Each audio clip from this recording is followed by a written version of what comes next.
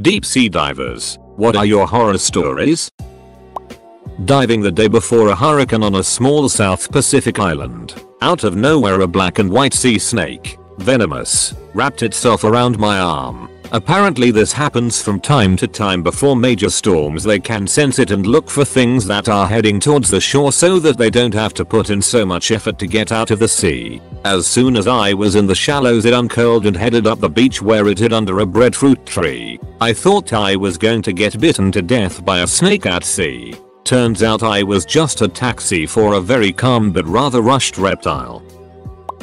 The only scare I've had is some jackout in a yacht cruising through our dive location at full throttle. You could hear the boat coming for a solid minute or two before it flew over our heads. Our boat had a dive flag on it and we had a buoy with a dive flag on it. They didn't even slow down. Barracuda, sharks, rays, manatees, dolphins, all cool. Humans are way scarier.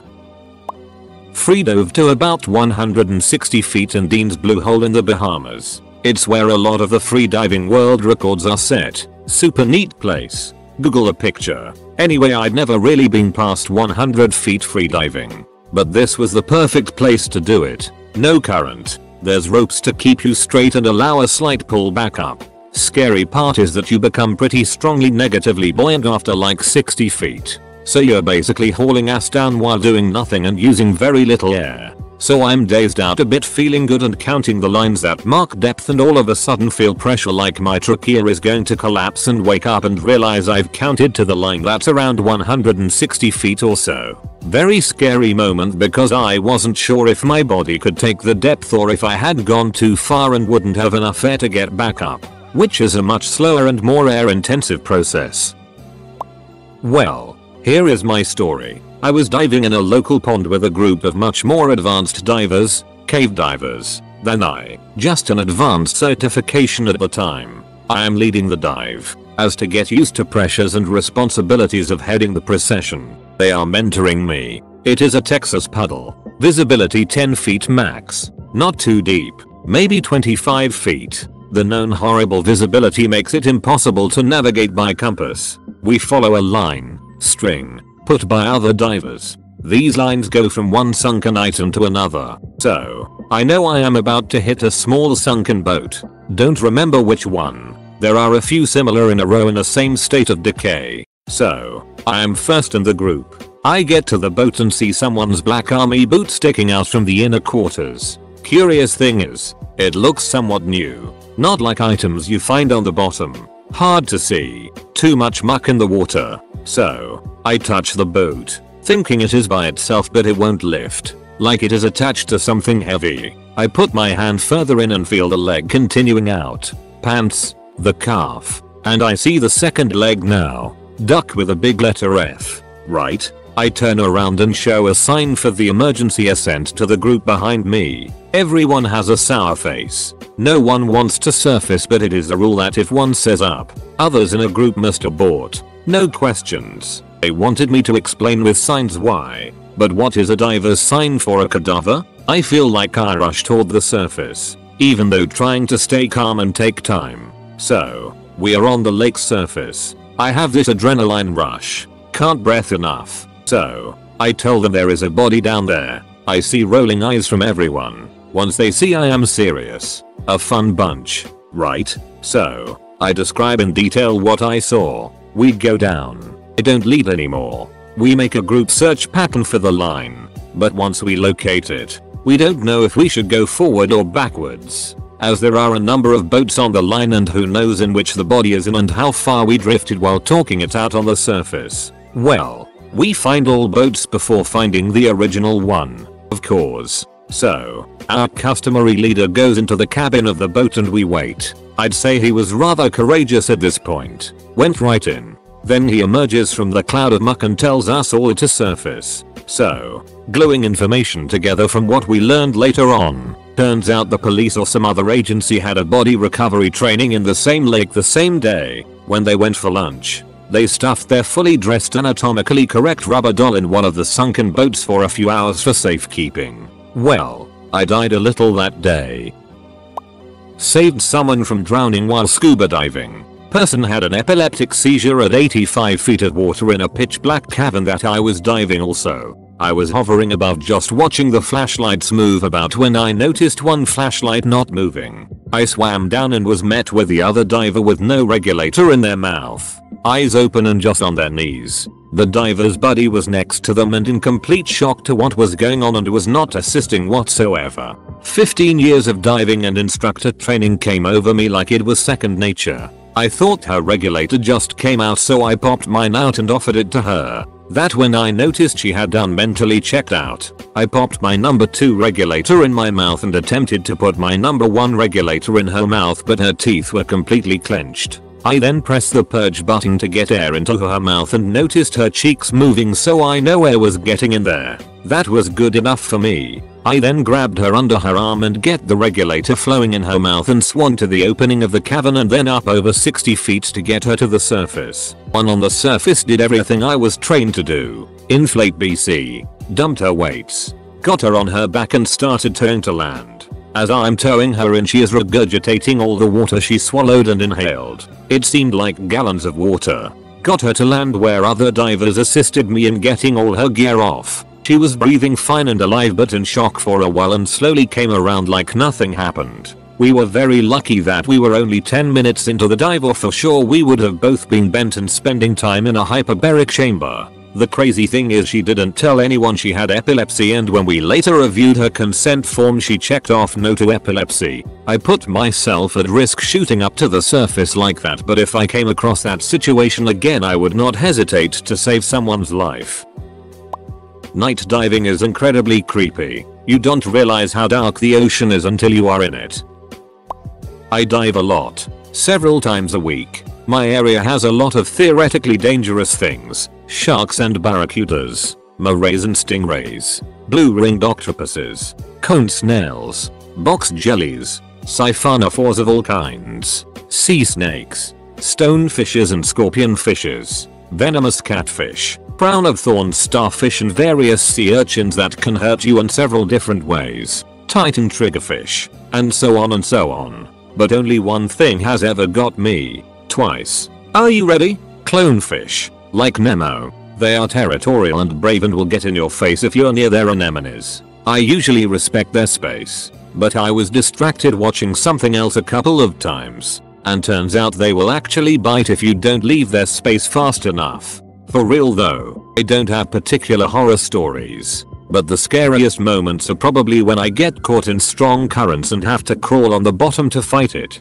Going hand over hand like I'm climbing a horizontal wall. Despite what a lot of people tend to think, especially looking at the daunting list of dangerous animals in my area, sea critters aren't your problem. You leave them alone and it's fine. Sea conditions like waves or currents, and above all human error, are the real killers. Edit. I just remembered an incident that did scare me. It was a human error equipment failure issue. When you're diving, you want to ascend to the surface slowly. This is because under pressure your blood and tissues can hold more gases, in particular inert nitrogen from your compressed air, dissolved in it than when you're at the surface. And as you ascend to the surface these dissolved gases have to return to being gases. If you're slow, you just breath it out as you come up.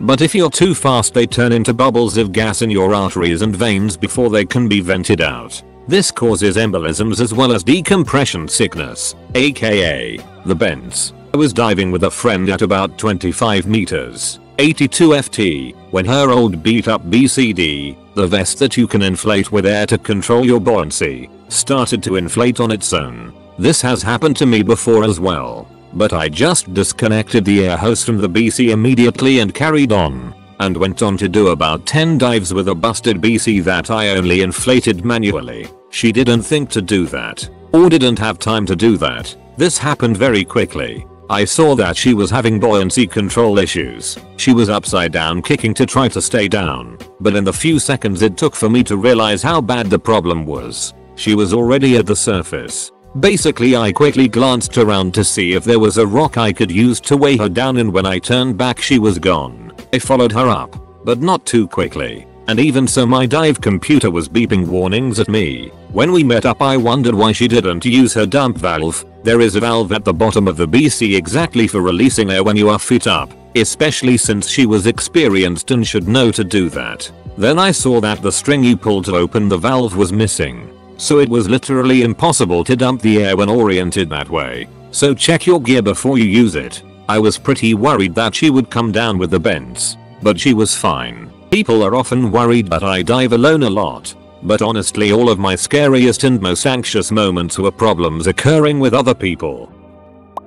Not my story but my parents. They like to scuba dive when traveling and have gone several times over the years. Once they visited Mexico and went diving there before I was born. I'm not sure where they were exactly, but my mom was slightly lower down than my dad and looking at the ocean floor. He was looking up and around. My mom had on a gold necklace that was floating in the water around her. It was a sunny day and a fairly shallow dive so it was sparkling. From my mom's puff, she was going along having a grand old time looking at the sea critters below. When suddenly my dad grabbed her and started frantically shaking her arm to get her attention. She looked up and a barracuda was directly in front of her, closer than was comfortable and staring intently. Scary teeth on full display. It was focused on the shiny necklace and was just hovering there, transfixed. She slowly moved up her hand to cover the necklace and they slowly and calmly moved away from it and it took off without bothering them anymore. But still pretty unsettling and taught my mom to be a little more aware of her surroundings when diving. The Byford Dolphin Diving Bell Accident. Long story short, some divers came up from an extremely deep dive at an oil drilling rig and someone ducked up the decompression procedure and opened the door while the chamber was still pressurized at depth. The four divers were instantly killed, and the one nearest the door literally exploded and they found bits of his body all over the oil rig. So, next time someone tells you that people don't explode in decompression chambers like you see in the movies, tell them they're wrong. Throwaway account. As this story is well known among my circles and it would be easy to identify me, I grew up in Oz. When I was 15, I took the family boat out and dove the reef myself to clear my head. Mistake number 1. I was down at a depth of about 28 meters, 90 feet, when I was only rated for 60 feet. Mistake number 2. Whilst diving, I spotted a 3.5 meters mako shark coming right at me. For those who are unaware, makos are basically the cheetahs of the ocean, and they only have two speeds, curious harmless, and lunch, very much harmful. This guy was in lunch mode, so I hovered, as I had been trained to do, as there would be no way for me to outmaneuver it or escape it. Nowadays, we dive with shark shields, which emit electronic pulses that freak the sharks out and keep them away. But back then, what we used was essentially a chainmail sleeve, the idea being that sharks hate the taste of metal. So if you give it your arm, it'll bite down. Decide you're gross, and move along. So I wait, and it comes, and I do a perfect move to give the beastie my arm, just before the crunch. However, it occurred to me that I had left my sleeve on my bed. Mistake number 3. I had my kelp knife drawn and stabbed it right as it bit me. It swam off and I was alive. However, now I had a series of problems. 1. I had huge open gashing wounds on my arm from the bite in open water, and was trailing blood everywhere. 2. Once the shock wore off, you realize that you're in salt water and salt and open wounds don't feel good. 3. In a panic, I dropped my weight belt and shot up to the surface without any sort of waiting period. Hello bends. Mistake number 4. 4. Because I hadn't been paying attention to the currents. I was approximately a quarter mile downstream of my boat, which means I had to swim up to it. Mistake number 5. 5. When I got to the boat,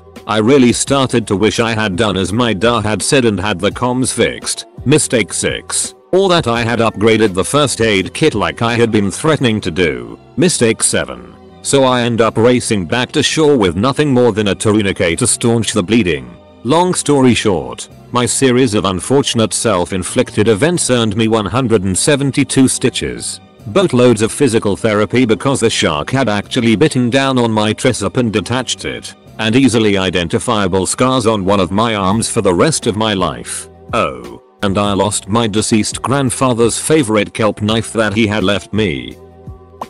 I did a shipwreck night dive on New Year's Eve one year, and it was spooky as hell. 80 feet down. Really small plane. Visibility was obviously not great. I've only done this one night dive. So these slow moving fish would come looming out of the dark. Scarier to me was getting back on the boat. Because it got really stormy. You'll be looking up at the ladder. And it had come crashing down right next to you. The waves were crazy. My brother got hit by the ladder but not too badly, and we all managed to get back okay. I know it's not really what you're looking for but none of the other stories so far are even close. I got the bends once. I was careful, followed my charts and my computer, At appropriate depths and surface time, but I didn't drink enough water so I was all out of whack. Felt fine until I got home. Mild headache. Then I woke up and it was just pain in my left arm, elbows, fingers. Couldn't even bend them without bad pain. My headache was intense and I was so dizzy. Called my older more experienced dive buddy and I got rushed to the hospital. Docs got me hooked up and fluids. Checked my dive logs while the decompression chamber was set up. And then got me in there with a nurse. 8 hours in a tube about the length of a car but as wide as maybe a double bed. I was on oxygen and hooked up to an IV and it was so loud. With all the air rushing in. As soon as I got to depth the pain vanished. It was crazy. I'm fine now obviously. But I wasn't allowed to dive for a month which sucked but hey, the dives were pretty great. I wear heavy prescription lenses and can't wear contact lenses. Halfway through a week long liveaboard dive trip, someone dropped a tank on my prescription mask and shattered it. I usually had a second set with me, but could not find them and only brought one. Because hey, nothing had ever happened before. I am functionally blind without corrective lenses. I can see colors and that's about it. Starting about 5 inches from my face. I was devastated, but decided to go diving anyway. With my husband as my seeing eye diver, I could see my gauges, so I felt reasonably safe. It was among the most amazing 3 days of diving I've ever had. I saw the colors, shapes, and movement without being focused on the details. I actually took many of the best underwater photos I'd ever taken. I wasn't worried about focusing on a particular coral or fish, I was looking at the larger color patterns, so it didn't turn out to be the disaster I'd thought it was. Was doing a boat dive and came up to find 20 foot swells. We just had to chill for a while down under until the boat would calm down and we could actually grab the ladder without getting smashed. I remember seeing the ladder going up and down 6-8 feet at a time. I finally grabbed the rope and climbed up as fast as I could. I hung onto the ladder and the boat crew grabbed my BCD and hauled me out of the water and onto the swim step. Half the divers puked on the way back into port. That was the roughest conditions that I have ever been diving in. I'm hardly a deep sea diver. My deepest dive to date is 111. This incident actually happened in about 8 feet of water.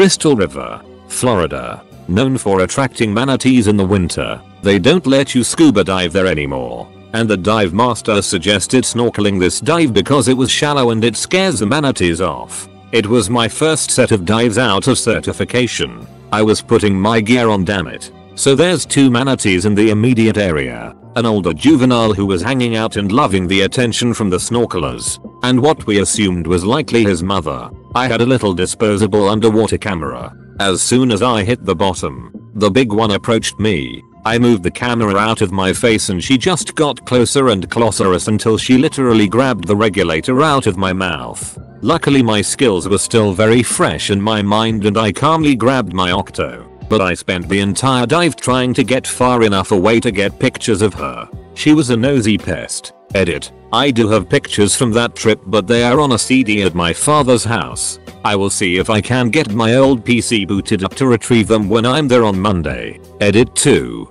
I honestly thought my old Flickr account had been wiped. I was able to screen grab a couple I had uploaded. I wear contacts so getting water in my mask is extra bad as I can't open my eyes underwater. Shortly after being told about a shark colliding with my friend from behind and removing his mask I am pretty scared about this. Not sharks in general, and I see a shark heading for me. They are curious. They often shoulder bump you as they turn at the last second. but she wasn't changing course. I stayed calm and still as long as I could and at the last second before she hit my mask I ducked. Except instead of ducking under I just headbutted her right in the nose. Everyone saw and thinks it was the funniest thing ever. I may be the only person alive who headbutted an 11 foot shark in the nose but it was because I was scared she would take my goggles off.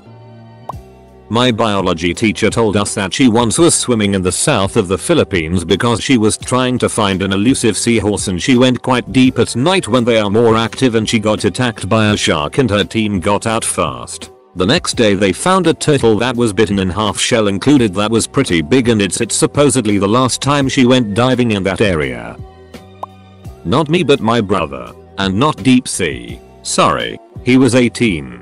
Part of the dive club at his school. They went on a diving trip. The crew that handled the dive counted heads wrong and halfway through the dive the boat went back to shore without them. So there they were 2 kilometers from shore with their only option to swim back. There were about 5 of them. 2 girls 3 guys. All of them between 15 and 18 yo. About halfway through one of the girls couldn't swim anymore and started crying. My brother along with another guy swam with her, dragging her along, making sure she didn't drown. Everyone made it out okay. Worst part. School tried to hide it and had the audacity to suspend my brother from school for catching him with a beer while on the trip. Needless to say they were in deep it when it came out. Not sure exactly what happened though. Honestly the things that really scare me makes my heart run fast ETCR2. 1. If my air consumption looks funky suggesting a leak or the current is suddenly fast. Basically anything that could lead to a life-threatening issue due to running out of air. When you're deep, you can't just fly back up and be fine. 2. Hurting reefs. Like honestly if my hand brushes against one, even dead, or gets super close so the dust unsettles because of the current or something I feel so, so, so guilty. My family got certified while I was in high school. Our last dive was open water. We decided we would do it on vacation. All other dives were in the states in a pool. Wreck dive about 200 yards offshore. Not sure why but mom's tank went empty way faster than everyone else's while we were out at sea. She didn't realize it until it was less than 5%. We surfaced and started swimming back. But she panicked. She was an experienced swimmer and snorkeler but she couldn't handle it with the other scuba gear. We whistled for help and the locals thought we were just being tools. Didn't realize she was struggling. We kept her up and got her back. Finally about 50 yards out they realized we were towing in a diver in distress. Everything turned out okay. I haven't been scuba diving since. My brother went on to become a dive master. Sorry not really a deep sea dive. TL. Dr. I fell off lap while diving. The weather had been pretty hot and the water temp was also around 26 C. We'd done a dive and a long swim in the morning. We then headed out for our second dive and the boat dropped us in the wrong spot. So we had to swim against a massive current to get to our intended site. Halfway into the swim I just felt like I needed a nap. And so, I closed my eyes and did exactly that. It felt so peaceful. I immediately dropped down to an even deeper depth and was lucky that one of the guys on the dive turned around at that moment and saw what was happening. He swam as fast as he could towards me and caught me. He asked if I was okay. I said I was and passed out again. This time spitting my reg out and started blowing bubbles. He then went behind me, shoved my reg back in, wrapped his arms around me and took me straight to the surface. He saved my life. I dove the Great Blue Hole of Belize when I was 16. I was 150 feet underwater, and about a total of a dozen bull reef sharks were swimming above and below me in circles. Regardless of all of the sharks, 11 stroke 10 coolest experience I've ever had. Only thing that really scares me is lung expansion injuries. So the one time I was freaked out was swimming near a wreck at about 100 feet. I lost perspective and buoyancy control and suddenly realized I had surfaced about 40 feet in 30s or less. Visions of the bends and a popped lung instantly came to mind and dropped a ton of air from my BC to get back to depth in a hurry. Got a massive squeeze from it in my ears. But it gave me a chance to calm the duck down and get a better sense of where I was and re-establish buoyancy control. Bottom line, the scariest things that can happen while driving is that you can do to yourself. Not exactly deep but I was doing my certification dive for my PADI basic open water diver certification. I was at about 35 feet when my regulator started free flowing. We'd been taught to put our tongues against the roof of our mouth to still breathe in that scenario and it worked just fine in the 70 degree pool. Unfortunately I was in a 40 degree lake, the temperature of which adds a bit of stress and anxiety no matter the depth. I was fine until the tongue technique didn't work and I grabbed my backup regulator. When I tried to clear it of water and breathe from the backup yet still managed to suck water, I panicked. Thankfully it being a certification dive and all, there was a diver master with my little group. I signaled an emergency ascent and he and I shot to the surface. I was in a complete panic like I've never known before or since. I was convinced I was dead. Once we got to the surface he was smart enough to reach between my flailing arms and inflate my BCD. After a few seconds he was able to calm me down, but I was unable to complete the dive. Every time my face went under the surface, I started having a panic attack. Eventually I pushed through. Before it was said and done, I got my advanced certification, which involved a dive to 110 feet and a number of other challenges. Unfortunately after that accident, diving gave me pretty bad anxiety and got to a point where pushing through was no longer worth it. It's been a long time since then and I'm not sure how I'd react now. Maybe after all this time I'd enjoy it again. Diving at Gordon Rocks in the Galapagos. We had hoped to see hammerhead sharks that frequent the area. This is a pinnacle surrounded by deep water and strong currents. Our guide had us hold onto the rocks and wait to see who came by. While we were waiting a group of 10 reef sharks were circling above us while two lager moray eels were popping their heads out a few feet away, opening their mouths letting us know they mean business. Needless to say I was a bit nervous and burning through my air at a rapid rate. Suddenly a group of dozen hammerhead sharks came into view. We had not really discussed what we would do. The guide motioned for us to follow and the next thing I know we are swimming with the school of sharks. This only lasted a few minutes before they broke away from the group. We began to move into our safety stop zone where currents were pushing us in different directions when I suddenly ran out of air. You don't get much warning when suddenly there is nothing left. So here I am 15 feet or so underwater unable to reach my partner's secondary air being forced to surface when I should still be chilling. At least the second time I ran out of air was user error on my wife's part anniversary dive, and I was able to get to the secondary air and get back to the surface safely. Oh and then there was the time diving bloody bay wall in the Caymans where there is a 5000 foot drop and my partner was nassed out and kept going deeper nearly exceeding the recreational limit of 120 feet or so. If I had not grabbed her she might still slowly be falling into the abyss. Diving is super fun. I was diving in the early 90s off the coast of Florida I had been using a spearfish ineffectually for a few minutes when I heard a strange grinding noise to my right. I turned my head to see an enormous set of barracuda jaws grinding just inches from my face. I still recall the fish's eye rotating around to check me out as if considering it should take a bite or not. It wasn't exactly a deep dive, but it was one of the most terrifying moments of my life. I was on a beach dive with my parents having swum from the beach out to a small reef and then descending. It was only a few minutes after getting down to the reef that something started going on with my parents. My mother was agitated and clutching her chest. We surfaced and she started spitting up dark liquid and struggling to breathe. Fortunately, it was a busy beach and after we inflated an emergency buoy, lifeguards rushed out and carried her back to the shore where an ambulance waited. It turned out she'd had swimmer's edema induced by the greater pressure. Things turned out fine. But having a medical emergency underwater in the ocean is especially level of scary. I was diving with a mom, her husband, and their son on a night dive. IDK how many dives they've been on but the mom for some reason decided to just go up without signaling anyone why. She did a thumbs up signal which means she needs to go up and when the dive instructor signaled back asking why she just went up, so the guide is trying to get her to come down when a boat comes across and runs her right over. I forget the exact size of the boat but it was big dual motor. Blood was everywhere and we had to rush out because there were a lot of sharks in the area. She died instantly I assume. I didn't see much once we surfaced as I was busy vomiting from everything. Edit. I realize I worded this poorly, so I reworded it. The people with the worst stories aren't here to tell the tale.